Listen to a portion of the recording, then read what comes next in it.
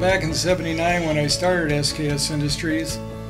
The name came from my, my wife Sherry, my daughter Kelly, and my son Scott.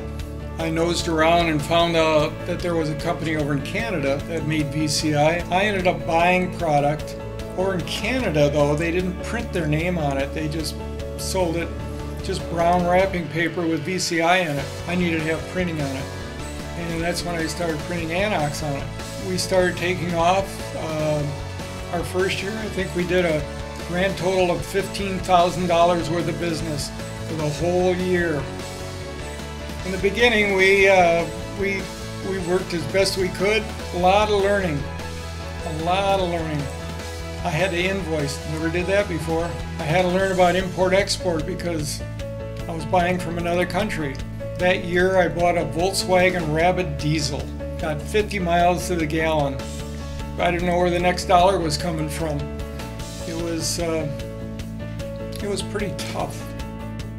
We weren't taking any money out of it or very little money out of it. We took our master bedroom and converted it into a uh, to an office. So my wife loved her horses, so she took out a, a phone with her out to the stables. While she was mucking out, uh, she'd have the phone there. If it rang, she just picked it up and said, SKS Industries, may I help you? Within the year we were running it, first two or three years, it just got a little bit better, a little bit better. About three years after we got got into it, we moved into Howell to a a very small office. And about a year or so later, then we moved into a little bit bigger office. We stayed there for oh, probably four or five years. January of 1991, we ended up buying the existing building we're in, 7,500 square foot building with offices in it.